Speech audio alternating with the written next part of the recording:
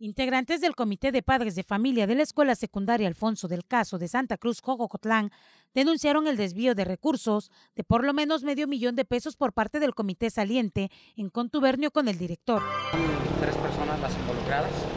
Eh, primero que nada está el expresidente del comité y la ex tesorera,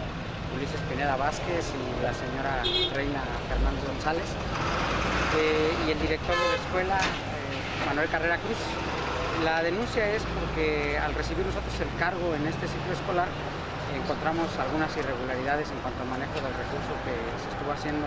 en la, en la, cuenta bancaria. Indicaron que tras entregar el comité los padres de familia que tienen como profesión la carrera de contaduría, realizaron una auditoría minuciosa a las cuentas de la escuela, encontrando que se fueron retirando montos de 15 y 20 mil pesos constantemente y sin justificación, los cuales fueron avalados por el director de la escuela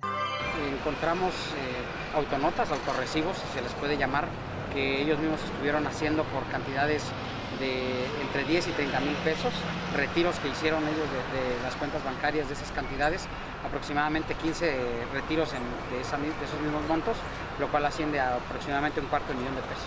Detallaron que hay responsabilidad y solapamiento por parte de este profesor, debido a que es una cuenta mancomunada, por lo que no se puede retirar dinero si no hay acuerdo entre las dos partes para firmar. Lo que nosotros vamos a, hacer es, ya iniciamos legalmente, y pedirle sobre todo a las instancias a quien, a, quien les corresponda resolver estas situaciones, eh, pues que no pierdan de vista sobre todo esta parte que está afectando más que nada a los alumnos.